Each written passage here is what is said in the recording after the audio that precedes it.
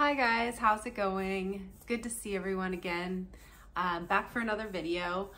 So heads up guys, I've been trying to film this video like three times and I'm committed to getting this video out. So the first time I, I recorded it, it didn't even make it past editing. I, I ended up just scrapping the whole thing. I was like, this is terrible. I hate it. It's not coming out the way I want it to come out.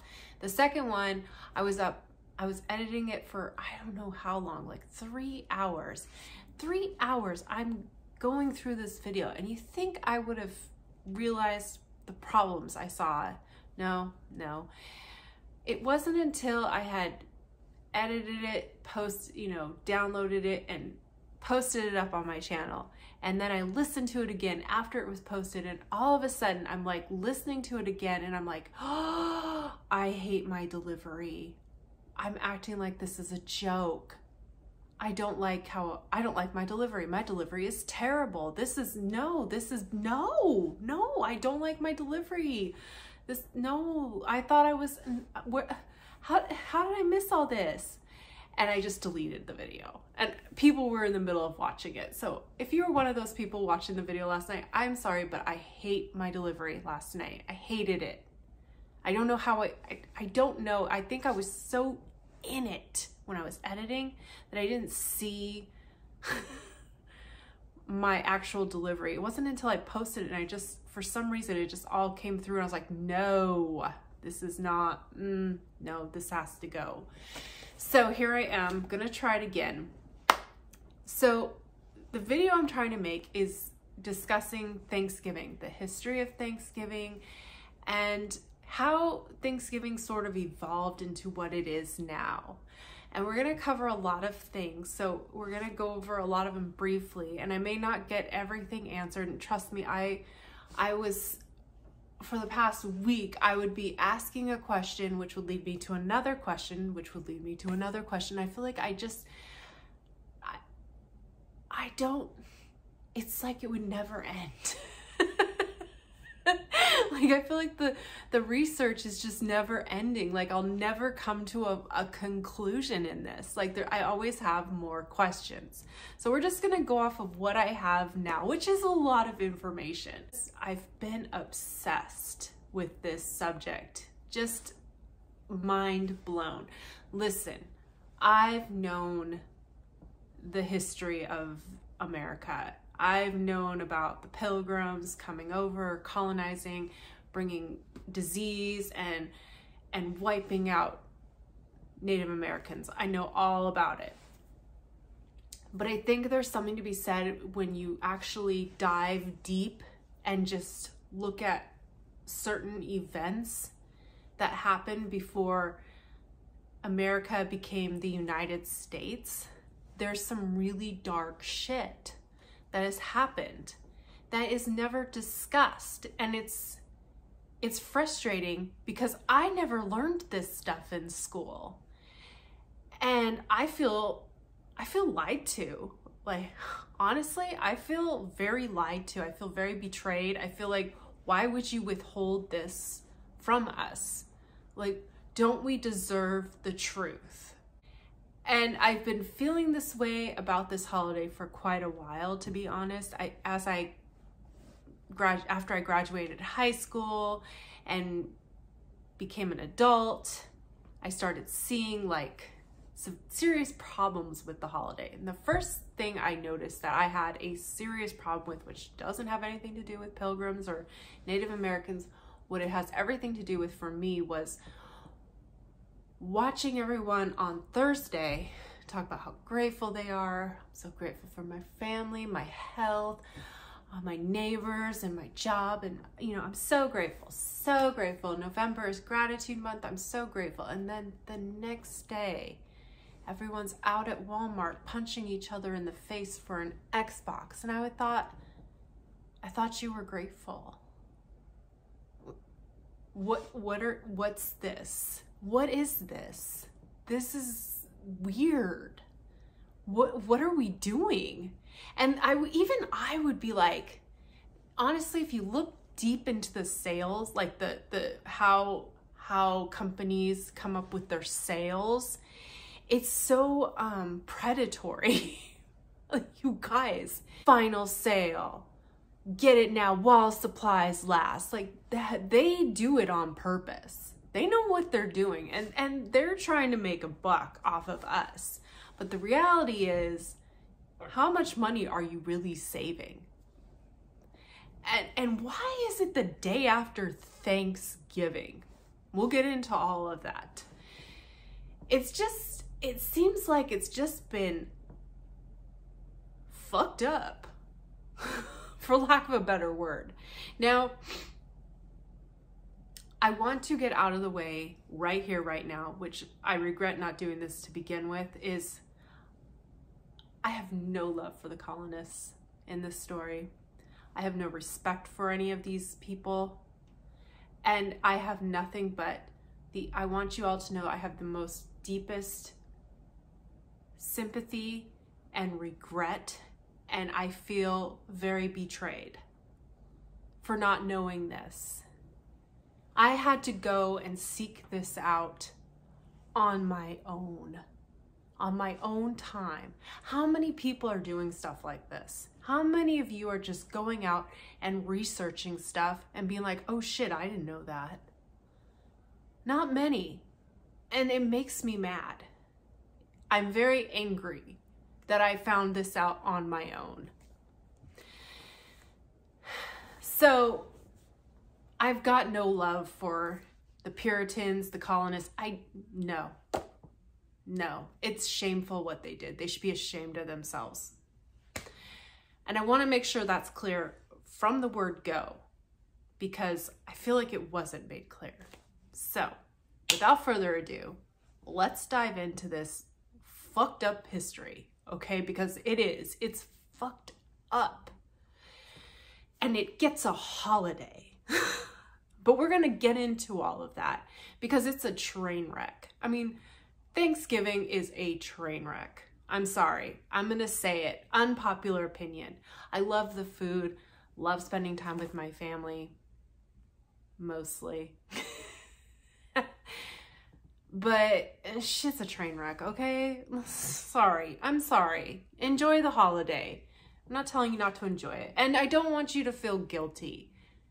I'm not putting this out there because I want people to feel guilty about celebrating or anything, but I want people to know what I learned. I put in the work and I want it to at least go to a good cause. God, who freaking knows where to begin on this story? Seriously, I don't know where to begin. Very on my last video, I insisted on calling them the separatists. I don't know if I was actually right to do that though. I think I might interchangeably use, I just might use whatever word I feel like. Se separatists, Puritans, assholes. We're talking about the, the English, the Europeans. I mean, it was basically England and the Netherlands that we're, we're referring to. And not so much, I don't know about the Netherlands, like they seem to be better. You know, some some people came over on the Mayflower to escape religious persecution. That is all true. Yes, they definitely did that. But there's a little bit more to it than that. So like, first of all, and I want to apologize in advance if I mispronounce tribal names.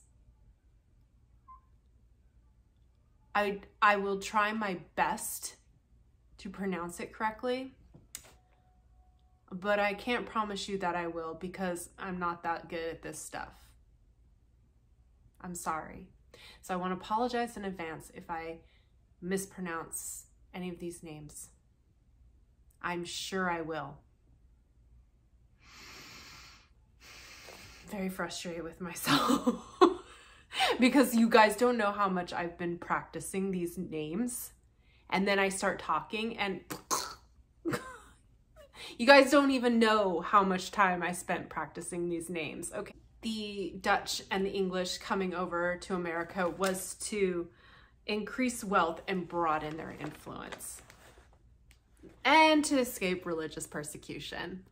So, but the English left England. Yeah, that's that's a good sentence. So they originally went to the Netherlands.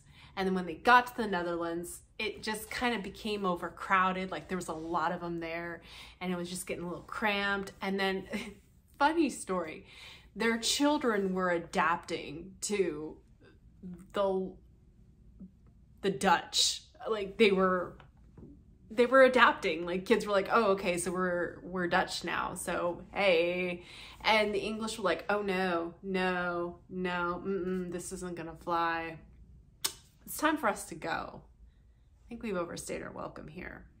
And then they decided to go to America where they can broaden their influence. Now, my favorite part of this whole story is I really thought that the the Mayflower was actually headed for New England and I found out that no, Mayflower was not headed to New England. It was in fact headed to Virginia and they missed Virginia. And I was like, how very Christopher Columbus of you. Good job. Like, wait, you landed, and they landed in Cape Cod. Okay, so here's the first part that is just weird to me. They landed in Cape Cod, which is a fair distance from Plymouth. If you've been to Plymouth and you've seen the rock, and everyone knows that's not where they landed, we all know this. You go to Plymouth, someone's gonna tell you, you know, the pilgrims didn't actually land here, right? And it's like, yeah, I know but you know, you made this a tourist trap. So here I am, and you go out there and you look at the dumb rock that says 1620 on it, and you're like, oh, fancy. But they didn't land here. And then you go across the street and buy a t-shirt that says Plymouth Rock because you fancy now.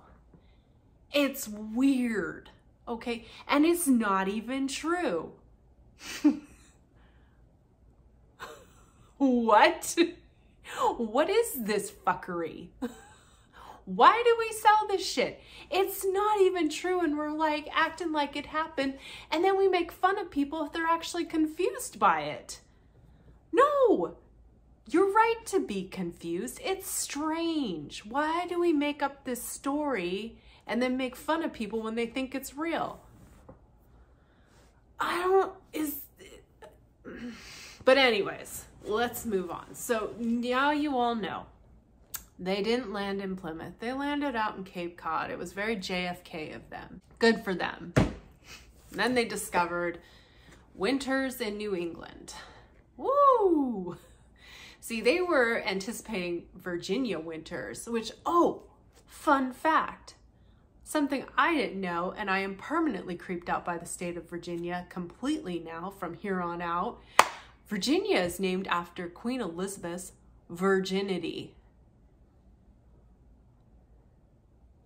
Why? Why? Why are we naming things after someone's vir- Virginia is for lovers.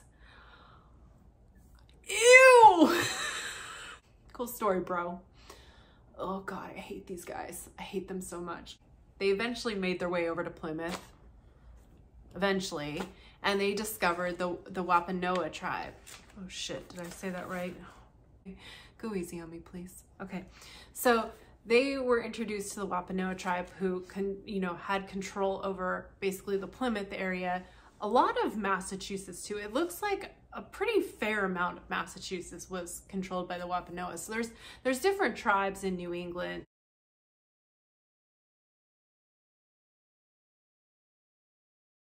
Um, Wampanoags one, the Narragansetts, Narragansetts are another, um, and the Pequot tribe. In 1621, like the, the first Thanksgiving was held between the Wampanoag tribe with Squanto. And, oh, I can't remember his actual name. I will insert it because that's not his actual name. It's, it, so they, they celebrated, they had like a three day feast, but it was more of the Wapanoas were very um, distrustful of the, the new colonists. Wampanoag tribe, some said, let's make an alliance with the Narragansetts to get rid of the English. They've been raiding our coast for decades, enslaving, and they can't be trusted. And a lot of people disagreed with um, having an alliance with the English too as a way to you know, know what's going on because they weren't trusting, like the tribes were not trusting the white people. Okay, so, and why weren't they trusting them?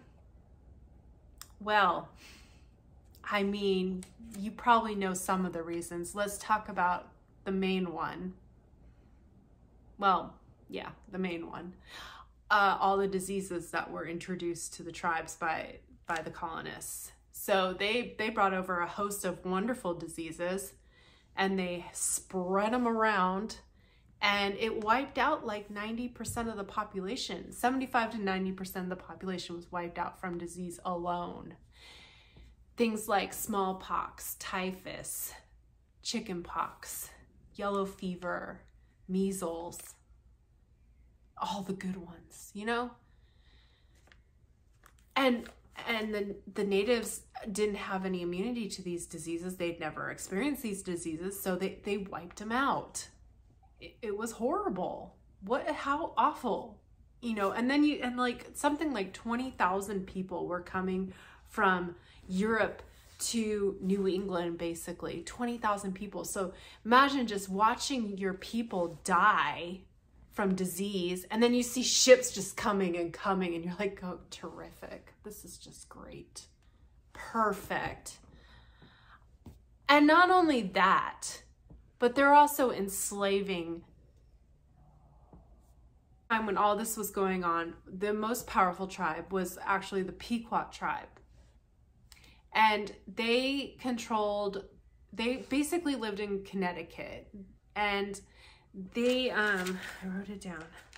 Pequot tribe was the most powerful tribe at the time. They had the most control over the fur trading, which was very a very big thing in that time, especially in New England in the winter, like furs. Yeah, you want those. And they would do trading and there's also a form of currency that was the Pequots had which made them very wealthy, which was called wampum. And they were these shell beads um, made of conch and another shell that I'm forgetting. And it was a form of currency. And this was traded between tribes. Now, there was rivalries between the Pequots, the Narragansetts, and the Mohicans because of the fact that the Pequots controlled most of the fur trade and had most of the wampums. There was a little bit of bad blood. So there would be conflicts that would break out between tribes and things would get worked out and so forth and so forth. But for the most part, I, from what I've gathered from the research I've found, um, it looks like these conflicts break out, but then it kind of settles down and people are just kind of a little salty about it. I don't know. It, it's hard to say, but something I found like the the colonists, I think, were very threatened by the Pequots because they had so much power over this region and and they can't have that because let's be honest here the the puritans felt like the Native Americans were godless people. They didn't have religion. They they did crazy ass things like there was harmony between the sexes, like women were actually respected and actually held positions of power and men actually took what women said seriously and women had a role in the tribe, in the community. It was an important role. Women had important roles. Oh, and they didn't wear a lot of clothing either, which was really weird to the the native, you know, the the Puritans. They were like, "Oh my God, these people have no clothes on. I can't control my erection." And and that alone made them think like, "Oh, they're godless because they walk around topless." Which like no one's thinking that except you, you dirty old pervert if there's this balance of power between both genders and both genders are equally respected, then I guess you can walk around topless and it's not going to be an issue. Just saying. I'm sure that's not always the case. I'm sure there's a few bad apples, but I'm just saying for the most part, you know. So these body shaming fucking weirdo colonists, you know, had problems with that. Like, oh, they get all the fur their women are naked, like they have no God. Ew, you know and and then they and on top of all this the thing that really pissed me right the fuck off was how they felt like all these natives dying from the plagues that they brought over was like god's will. Oh you what excuse me i'm sorry leave god out of that one you know what i mean you leave god alone okay no no, this is not God's will. This is you are gross and you have gross illnesses and you brought them over. And it was just like, so here they are getting everyone sick. Everyone's violently ill and dying.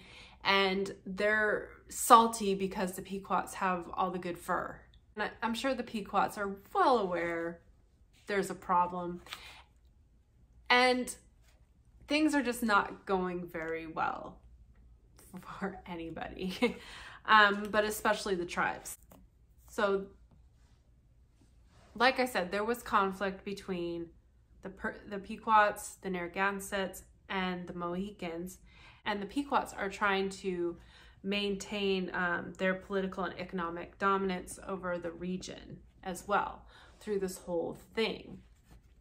But um, the colonists are building alliances with other tribes to take down the Pequots, which is very unfortunate. So some of the key players in this in this um, attack are first and foremost we have Captain where did it go? Captain John Mason and uh, Captain John Underhill. Basically, the two leaders of this massacre that is about to take place. Um, so Captain John Mason had um, had recruited some Narragansetts and some Mohicans and about 90 other men. And John Underhill had 20 men and and a scattering of Narragansetts and um, Mohicans as well. And they, they were all going to go down to the Pequot fort. It was considered a fort at the time. It was literally, I will insert a picture, but it's literally an enclosure and the residence is inside and then there's like a fence around protecting the people inside.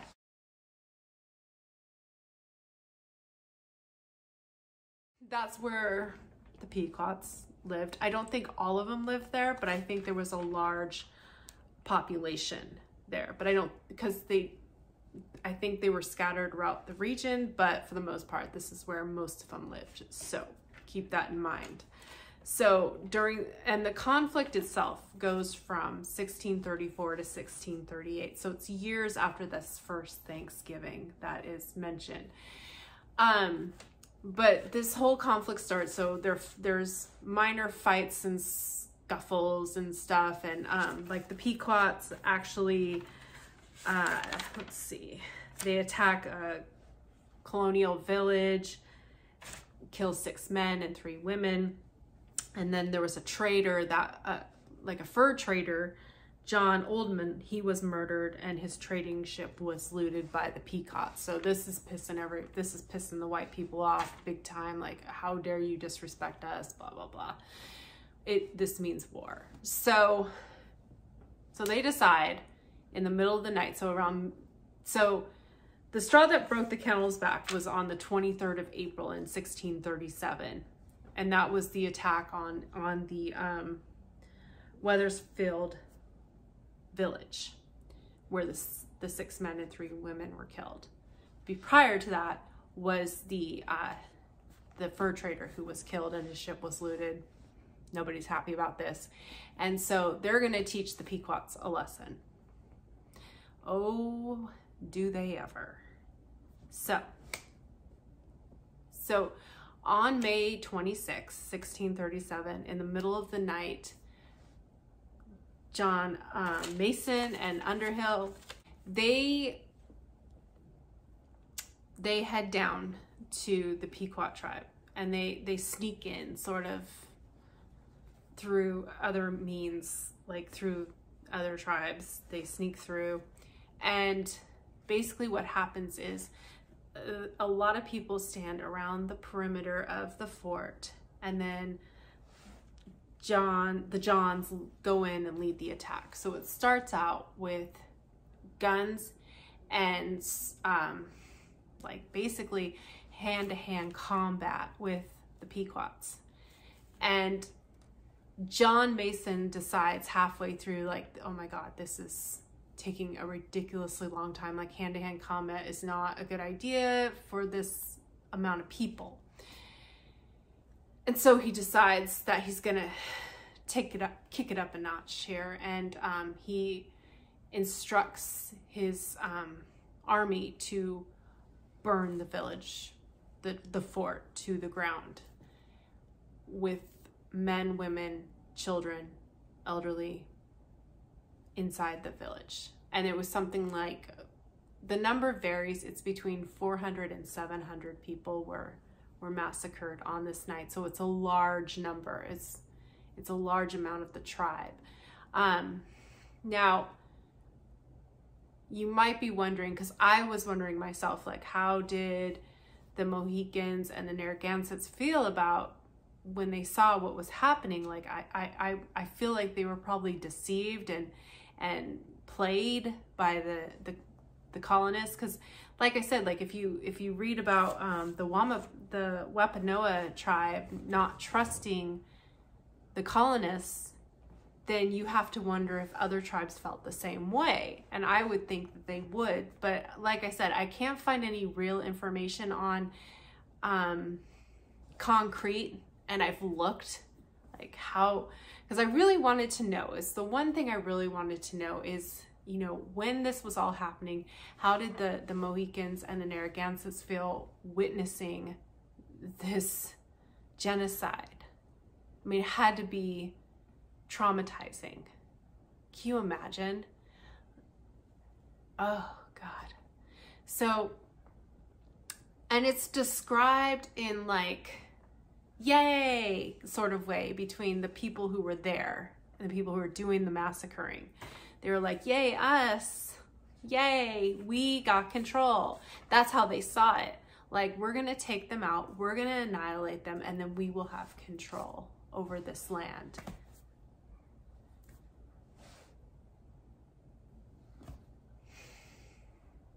and it's awful. Like imagine being in this fort and seeing your house burning down and and watching people escape and so the thing is is if you try to escape there's only a few you know exits that you can escape through if you try to escape there's someone waiting outside and they're going to kill you so you have two choices you can either try to escape and be murdered or stay and be burned to death. You decide. Which would you choose? I, I don't know what I would choose. I can't imagine what I would choose. How horrible. Can you imagine being a child?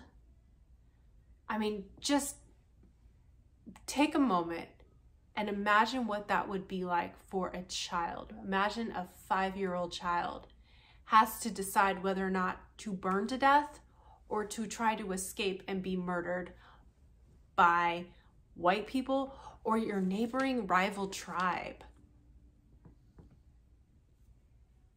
I can't imagine. I can't even imagine. Now, here's the thing that's the kicker for me. It's just that. Uh, so the mayor or the governor of the Plymouth colony, William Bradford, declared May 26, a day of Thanksgiving, because all the colonists came back safely. Like, let's express our gratitude for the colonists coming back safely from this genocide. Good job. Well done. You guys get a holiday. you murdered children. You murdered elderly people. You murdered women. You murdered, you annihilated a tribe. And you get a holiday from the governor of Plymouth? Really? Gross. Gross. Here's the thing about Thanksgiving too is after all this was said and and trust me, there's there was another battle that came later with the the um, Wampanoag tribe, and it was called um oh what was it called? It was like King James's War, King something, and it it wasn't a white person. The King James was um one of the chiefs of the tribe, and I won't even go there with that one. So so like I said, there is very conflicting evidence as to what we're referring to when we, we say the first Thanksgiving.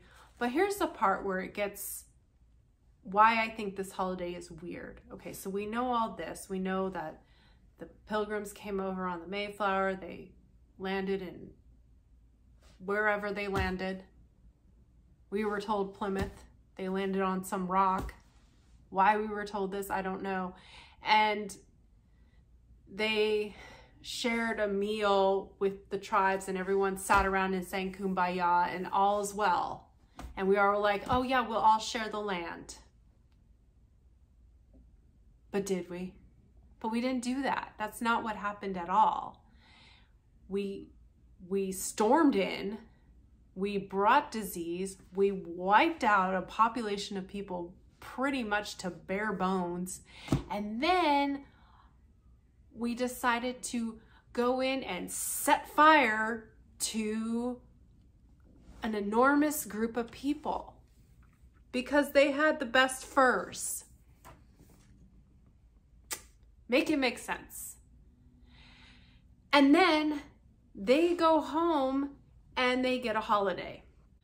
We're to fast forward to George Washington Constitution signed. He's doing his president thing. He's saying how slavery sucks. Slavery sucks, but he has slaves. Yay. So many problematic guys in history. so many people with problems in history. And he declares something like the end of December to be Thanksgiving, but it's not like, I don't know, it's like some declaration or something. And then so then we're to fast forward again to 1863. Abe Lincoln's president, and he decides to um, declare the last Thursday of November to be Thanksgiving in honor of the Union Army winning at Gettysburg. Okay, so this is where I had questions, guys. This is where I had questions. I was like, okay, so Lincoln declared it a holiday, and it's been a holiday ever since. And he declared it because the Union Army won Gettysburg. Okay, no, that's cool. No, that's fine. But what how did we get the pilgrims from Gettysburg? See, that's the part I was confused by. How do we get pilgrims from Gettysburg? Because if if we left it with Lincoln, then shouldn't we be giving thanks to the Union Army for winning at Gettysburg? That's what I thought. I can't be the only one. Well, I had to dig to find my fucking answer. I felt like it was a simple question and I could not find an answer anywhere. And I finally found it. Thank you, Smithsonian, by the way. Always got my back. So by the late 19th century, so after the Civil War, during the Reconstruction period, there was anxiety about an influx of Jews and Catholics coming into the United States. God forbid, Jews and Catholics. Oh, no, not that. How awful for you. And the Protestants wanted to assert authority.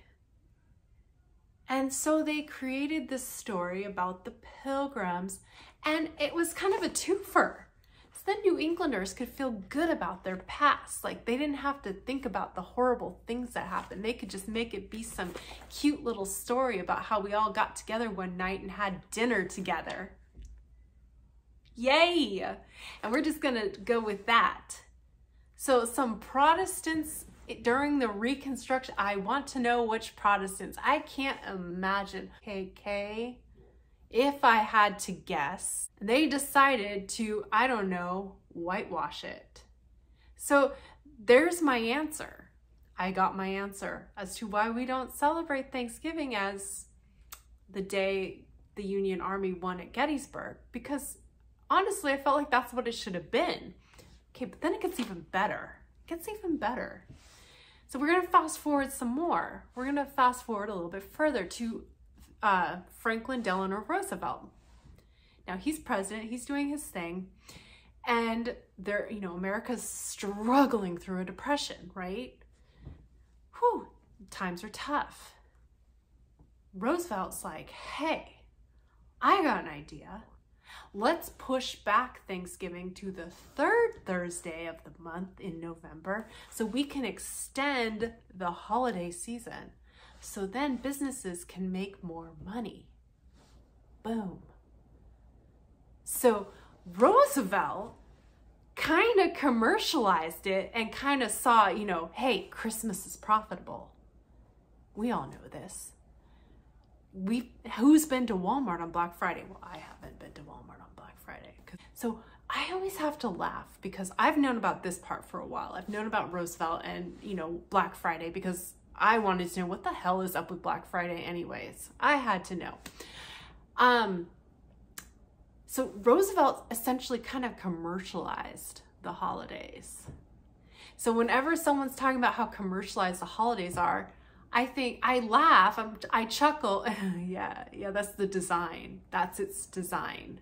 It's designed that way. So I always thought Black Friday meant it was the day that businesses went from red to black. But I found out that's false too. It actually comes from in the 1960s, the Pittsburgh police reported the, the large droves of people coming into the city on the Friday after Thanksgiving to buy shit as Black Friday. And there you have it. And I just, I think of this like weird hodgepodge of, of collection of shit and like, if we could have left it with Lincoln as yay, yay, Gettysburg, cool. I'd celebrate that. I mean, that was a that was a good victory for us, you know. Woohoo. Union. Union strong. it was though. That was a good victory for the United States.